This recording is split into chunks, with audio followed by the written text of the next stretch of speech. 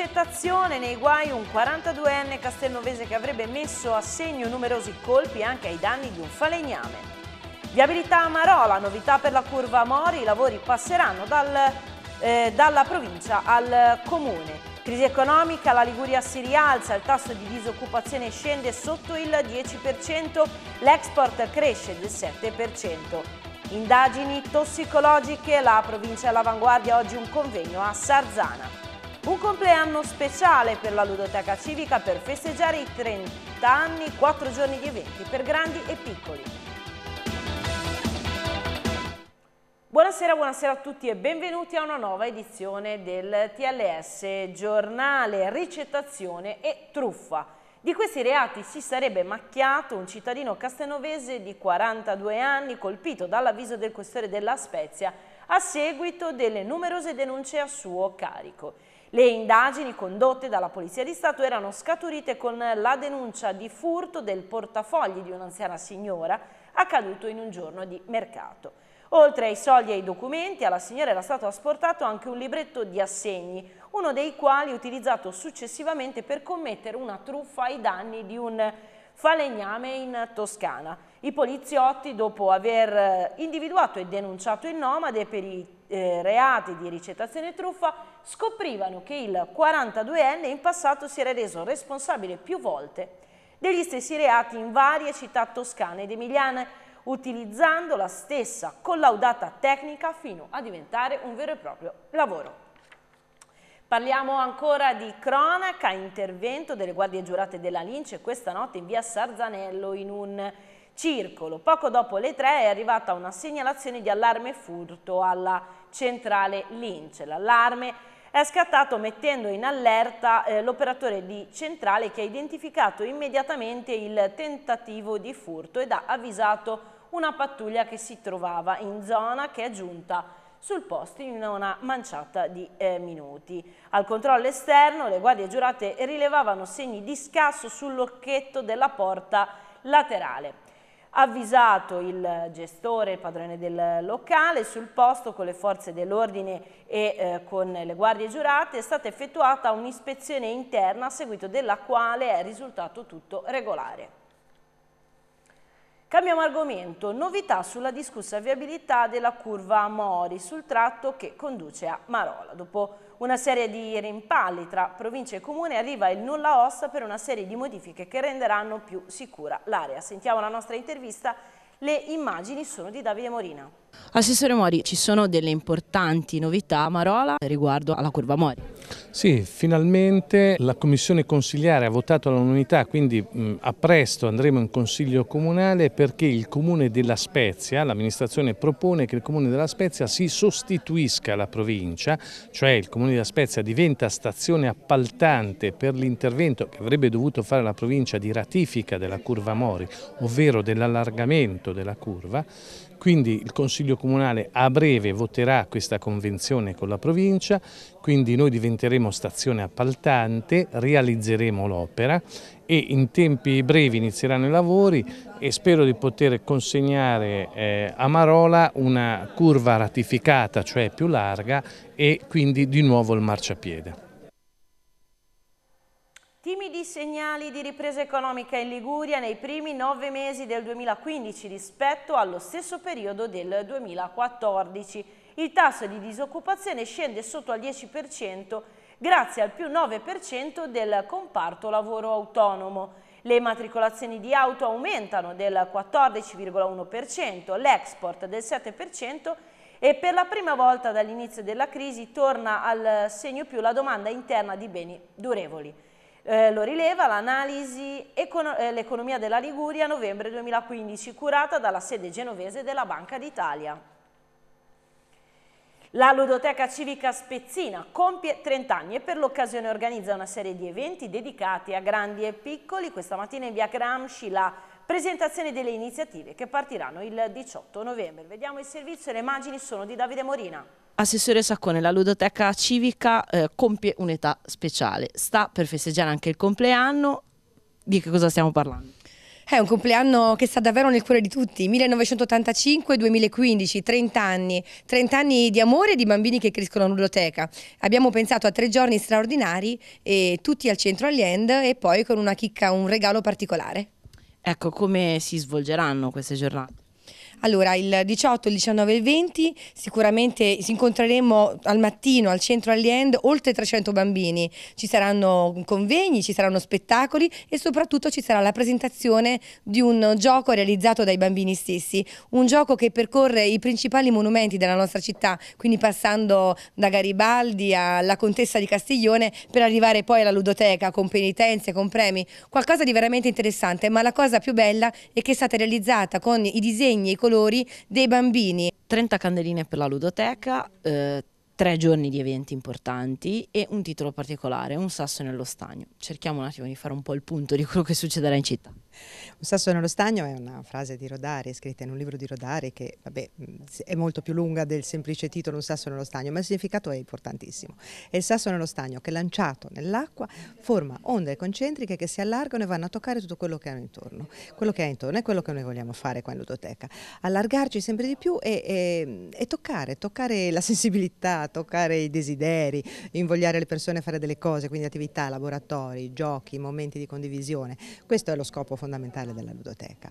In questi tre giorni, tre giorni poi sono quattro in realtà, eh, sono tre giorni dedicati ai bambini e alle scuole, perché avremo tre giorni al centro Aliende, le mattinate piene di bambini che verranno a riprendersi il loro libricino di fiabe, fiabe che hanno scritto l'anno scorso nel laboratorio che noi proponiamo ormai da anni, Fate streghe, castelli e magie, che è un lavoro sulla fiaba, è molto bello, infatti lo facciamo da anni e continuiamo a farlo e anche quest'anno l'abbiamo già riproposto, avranno occasione di ascoltare le loro fiabe lette da attori, avranno occasione di riprendere, come dicevo, il loro libricino e, e il pomeriggio del venerdì, il 20 novembre, che fra l'altro è una giornata particolare perché la giornata è la ricorrenza del, ehm, della convenzione dei, della giornata internazionale dei diritti per l'infanzia e l'adolescenza, ci sarà uno spettacolo gratuito per tutti i bambini. Anche COP festeggia i 30 anni della ludoteca. Sì, eh, noi collaboriamo da diversi anni con la ludoteca civica e in questa occasione abbiamo sostenuto questo gioco, quindi questo gioco sarà utilizzato da, dai bambini e noi nell'ambito della collaborazione inseriamo dei percorsi che stanno dentro all'attività di COP. Sapere COP è una nostra guida dove offriamo al mondo della scuola gratuitamente tanti percorsi su diverse tematiche dall'alimentazione all'ambiente alla cittadinanza. I pirati informatici ora si servono di Equitalia per rubare con un clic informazioni riservate e denaro. È la stessa Equitalia a lanciare l'allarme dopo aver avuto conferma dalla Polizia Postale che in questi giorni è in atto una nuova campagna di phishing, cioè di tentativi di truffa informatica architettati per entrare illecitamente in possesso di informazioni riservate. Numerosi utenti infatti hanno segnalato di aver ricevuto email truffa contenenti presunti avvisi di pagamento di Equitalia e che invitano a scaricare o a utilizzare link esterni. Equitalia è assolutamente estranea all'invio di questi messaggi e raccomanda nuovamente di non tenere conto delle email ricevute e di eliminarla senza scaricare alcun allegato. Proseguono i lavori del convegno ecclesiale di Firenze, molti temi in discussione. Oggi vediamo l'intervista al direttore di Avvenire, Marco Tarquinio. Il servizio di Italo Lunghi. Tanti temi trattati dal convegno ecclesiale, quali secondo lei saranno più fruttificanti per la Chiesa in Italia? Beh, eh, a cavarmela quasi con una battuta, tutti quelli che la metteranno in cammino sul serio, cioè voglio dire, eh, sono stati indicati in molti modi, il tema della famiglia, il tema dell'incontro con i diversi da noi che vengono a vivere qui perché c'è un dovere di accoglienza e un dovere d'annuncio, un dovere di testimonianza. Eh, io credo che questo sia un convegno, come già stato colto da quasi tutti e dal clima che si respira, un convegno di svolta non perché si comincia un cammino nuovo, ma che, perché il cammino che abbiamo fatto fino adesso comincerà a fruttificare.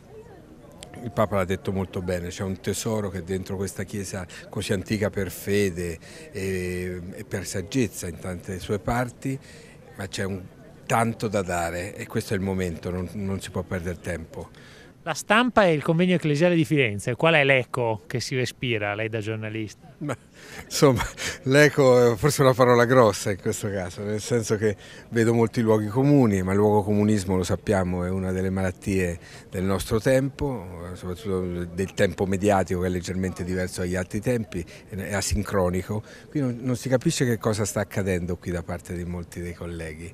E io ho visto titoli che parlano di sferzate del Papa, sì, sferzate d'energia.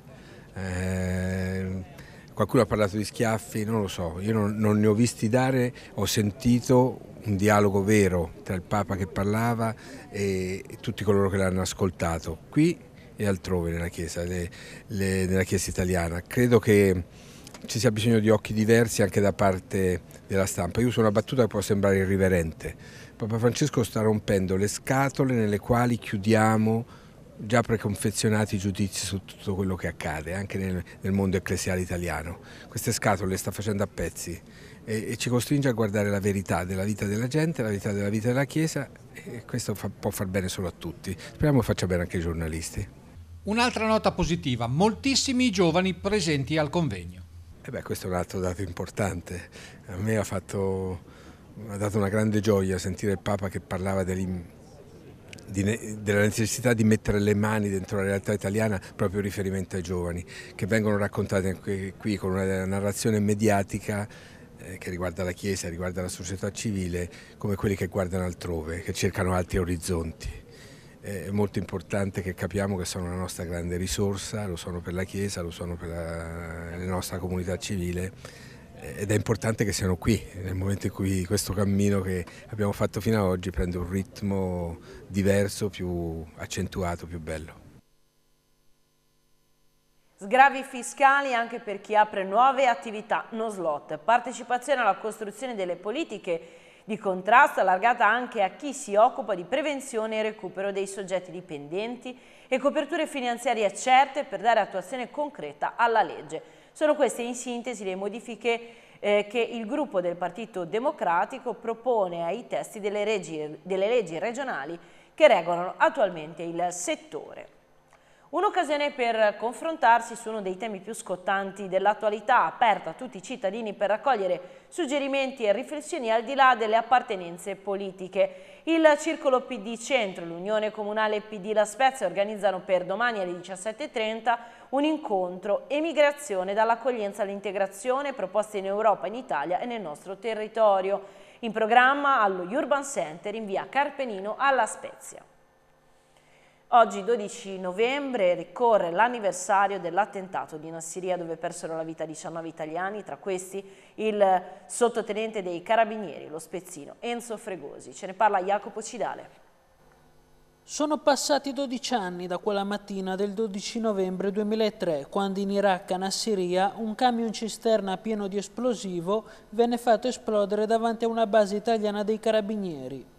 L'attentato causò la morte di 28 persone, tra carabinieri, militari dell'esercito e civili.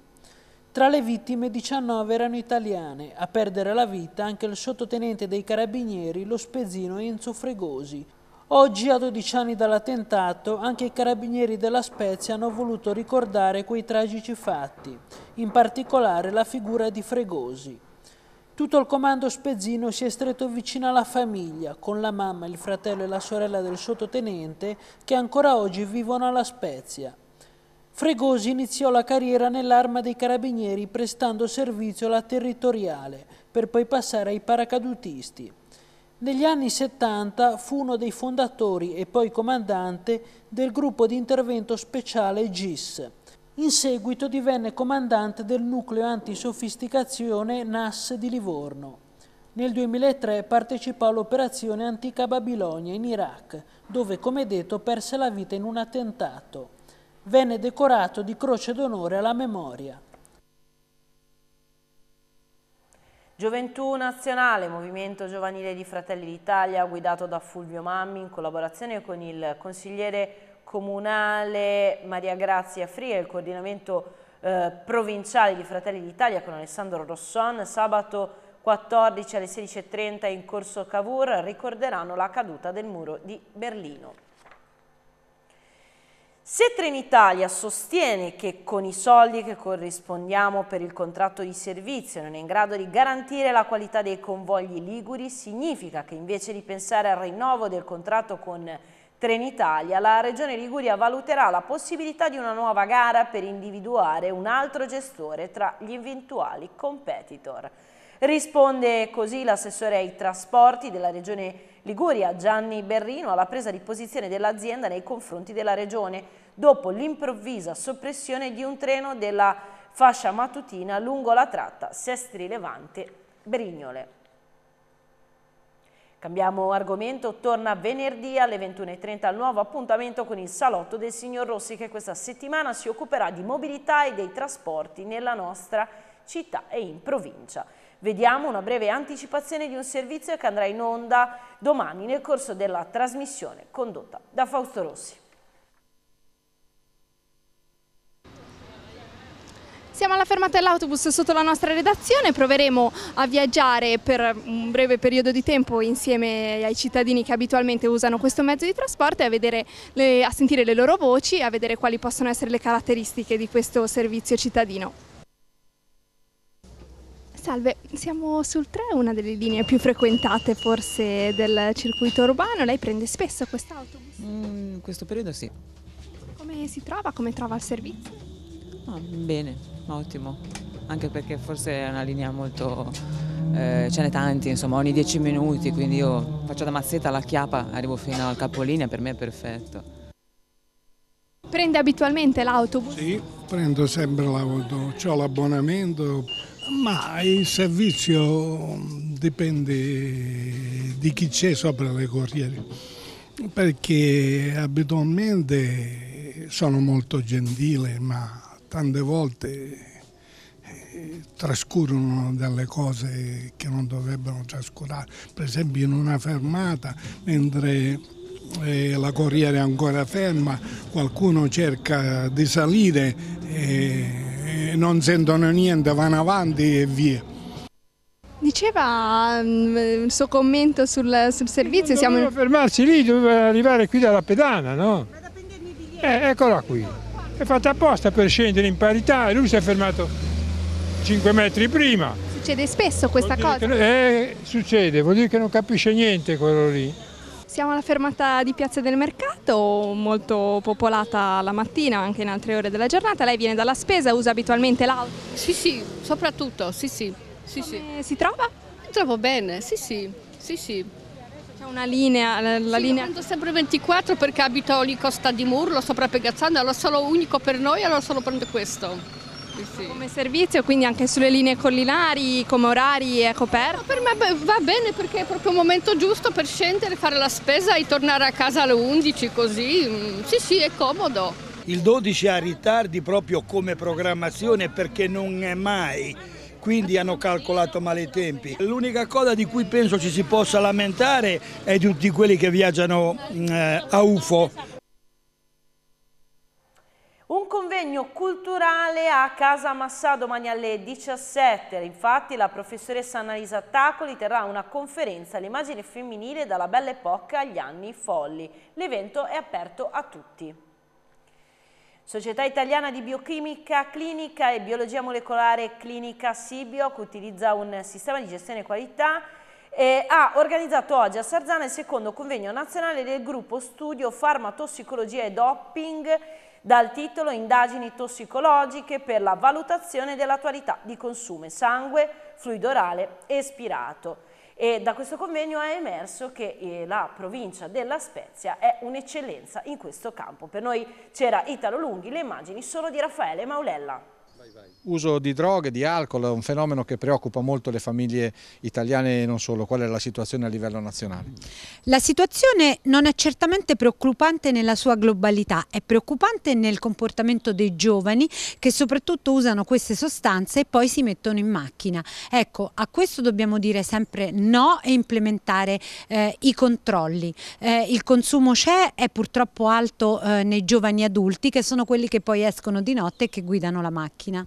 Organizzare un convegno molto riuscito, molti giovani, molti professionisti presenti. Sì, la, la nostra società è la Sibioc, Società Italiana di Biochimica Clinica Medicina di Laboratorio e lo scopo è quello di cercare di chiarire un pochino quelli che sono alcuni aspetti, su, soprattutto su quelle che sono le norme e l'applicazione delle norme del, relative al codice 186-187, quindi alla guida sotto sostanze d'abuso ed è un convegno che ha avuto diciamo, un successo di partecipazione e questo ci eh, fa capire che è un argomento sentito. E eh, diciamo questo eh, qui nella nostra zona ha fatto capire che eh, siamo un pochino avanti rispetto a, ad altre parti d'Italia perché qualche anno fa nel 2011 è stato istituito un protocollo con la prefettura che ha coinvolto sia la ASL 5 che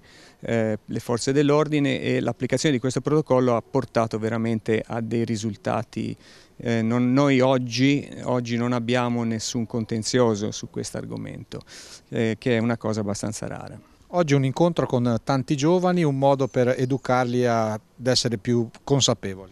Certo, noi dobbiamo sempre diffondere l'informazione, fare della buona informazione, eh, dire quello che succede, spiegare l'effetto che hanno queste sostanze quando ci si mette alla guida e dire che queste due cose non si devono associare mai e, queste, e comunque il consumo di alcol e di droga non va mai applaudito. Sono gli adulti che forse non hanno capito il problema dei giovani in questo momento eh, quando si parla con i genitori si dice cosa vuoi che sia un, fumare uno spinello non è niente, eh, cosa vuoi i ragazzi si devono divertire in qualche maniera. In questi giorni si parla anche di doping nello sport, visto che parliamo di giovani, c'è una correlazione anche rispetto a questo fenomeno che va controllato.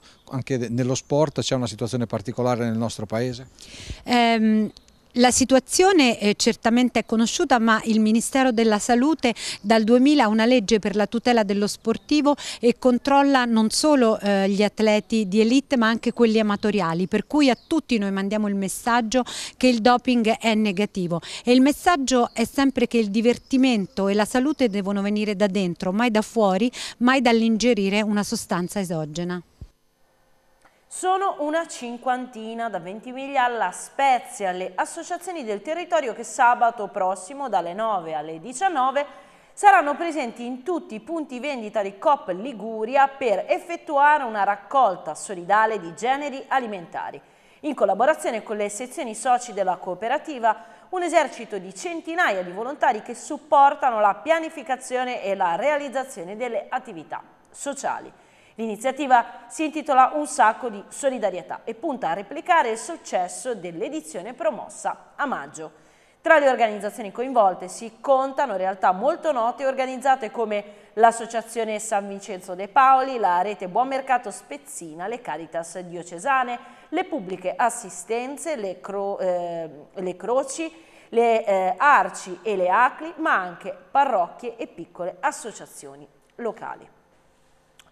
L'ambulatorio dell'ASL pres eh, eh, presente presso gli uffici comunali di via Valentini 89 ad Arcola da sabato 14 novembre si trasferirà temporaneamente nella sede Avisaido di via Valentini in attesa del completamento lavori di ristrutturazione. Torna da domani in piazza Sembona alla Spezia fino a domenica dalle 9 alle 20 la manifestazione che ha come protagonisti i sapori, i colori e il folklore siciliani. La manifestazione è alla sua seconda edizione in città e delizierà tutti con prodotti tipici che i visitatori potranno degustare e acquistare al grande mercato. 22 gazebe di colore giallo-rosso disposti in piazza Sembon esporranno prelibate specialità. Si terrà domani alle 18.30 al CIV Nuovo Centro lo spettacolo L'uomo dal fiore in bocca di Luigi Pirandello con Lucio Caratozzolo e Daniele Ceccarini. Luci ed effetti sonori sono a cura di Alessandro Cicconi. Lo spettacolo è ad ingresso libero, è organizzato dal CIV Nuovo Centro, dalla libreria Liberi Tutti con il patrocinio del Comune della Spezia. E in chiusura veniamo alle previsioni del tempo per la giornata di domani. Sulla costa al mattino ci sarà cielo nuvoloso con qualche schiarita al, pomeriggio, il cielo rimarrà nuvoloso sempre con qualche schiarita. I venti saranno deboli meridionali, con temporaneo rinforzo fino a moderati a ponente nelle ore centrali della giornata. Il mare sarà inizialmente calmo, in aumento fino a poco mosso a fine giornata sul ponente mosso al largo. Le temperature oscilleranno tra una minima di 12 gradi e una massima di 18 gradi. Per questa edizione del TLS Giornale questa era l'ultima notizia, grazie per averci seguito e buon proseguimento di serata su Tele Liguria Sud, arrivederci.